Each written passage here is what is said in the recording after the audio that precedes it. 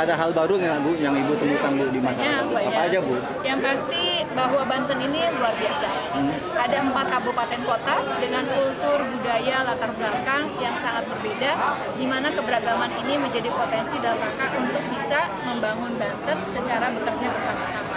Tidak mungkin seorang Airin adik berjalan sendiri, tapi harus ada kebersamaan, kolaborasi dengan seluruh kepentingan, baik masyarakat individu maupun kelompok, maupun juga dengan dunia usaha, maupun juga perguruan tinggi dan yang lainnya. Dan ini menjadi modal bagi pembangunan di Provinsi Banten dengan sumber daya alam dan sumber daya manusianya yang sangat luar biasa. Terima kasih ya.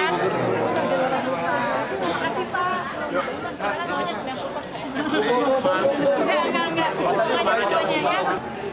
niat untuk memenangkan pasangan kami di pilkada ini semakin bulat dan semakin menguat. Itu yang kami tangkap. Kemudian juga amanat-amanat untuk selalu mendekatkan diri kepada masyarakat, mengambil simpati masyarakat, dan tentunya memperjuangkan aspirasi masyarakat itu yang saya tangkap. Rata-rata persoalan-persoalan yang sekarang ini mengemuka ya, persoalan pendidikan, persoalan kesehatan, persoalan layanan-layanan publik, persoalan jaminan sosial, persoalan infrastruktur, itu yang selalu dikemukakan oleh masyarakat. Tapi yang saya tangkap dukungan masyarakat kepada kami pasangan Ben Pilar dari masyarakat itu semakin semakin tinggi, semakin solid mereka untuk mendukung pasangan saya dengan Pilar di pilkada besok seperti itu. Eh, bukan hanya di tingkat kota dan juga di provinsi ada Pak Iwan dan saat ini pesan betul karena lumbung suara Airin Ade, lumbung suara Ben Pilar ada di kota Tangerang Selatan. Untuk tanggal 27 November datang ke TPS memilih nomor dan jangan lupa pada ini diwakili oleh Sekretaris DPD PD Perjuangan Provinsi. tadi nggak sebut-sebutkan.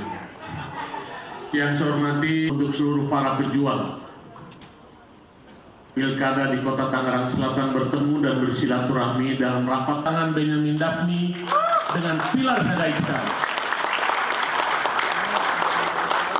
Di tengah-tengah kancah pergaulan 508 kabupaten dan kota seluruh Indonesia. Kepemimpinan beliau sudah sangat teruji. Bahkan terakhir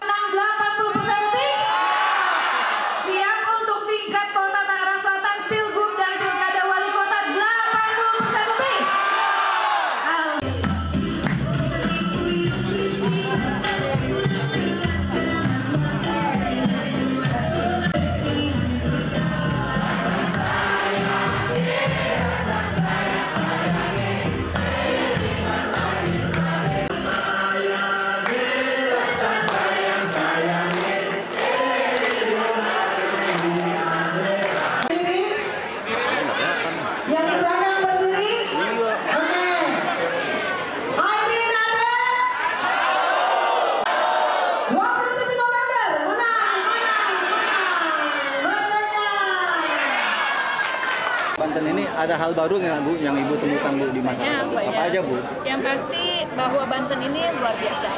Ada empat kabupaten kota dengan kultur, budaya, latar belakang yang sangat berbeda, di mana keberagaman ini menjadi potensi dalam rangka untuk bisa membangun Banten secara bekerja bersama-sama.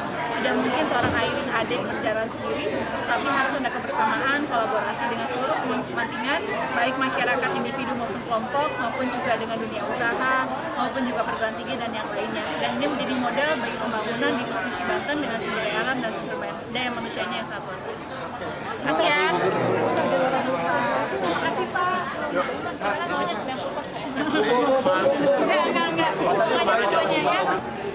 Niat untuk memenangkan pasangan kami di pilkada ini semakin bulat dan semakin menguat. Itu yang kami tangkap. Kemudian juga amanat-amanat untuk selalu mendekatkan diri kepada masyarakat, mengambil simpati masyarakat, dan tentunya memperjuangkan aspirasi masyarakat itu yang saya tangkap.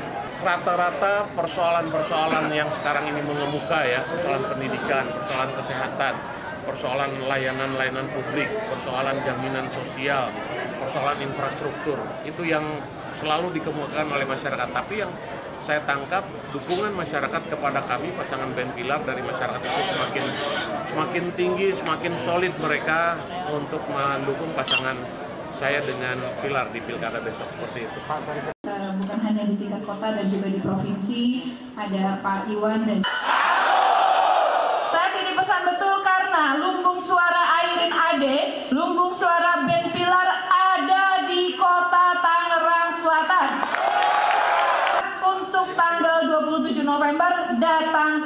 TPS memilih nomor dan jangan lupa pada Hal ini diwakili oleh Sekretaris DPD PD Perjuangan Provinsi.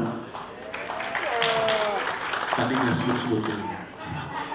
Yang saya hormati untuk seluruh para pejuang Pilkada di Kota Tangerang Selatan bertemu dan bersilaturahmi dalam rapat tangan Benyamin Daphni dengan Pilar Sadaiksa. Di tengah-tengah kancah pergaulan 508 kabupaten dan kota seluruh Indonesia.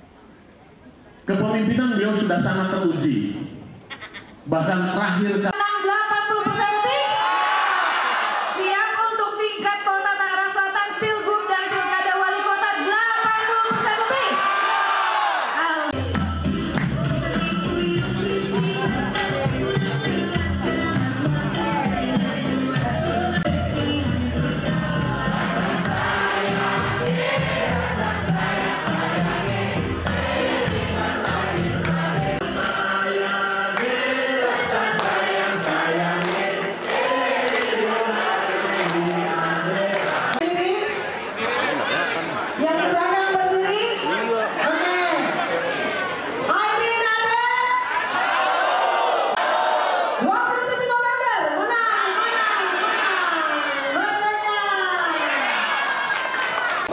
ada hal baru nggak Bu yang Ibu temukan Bu di? Banyak, Bu? banyak. Apa aja Bu?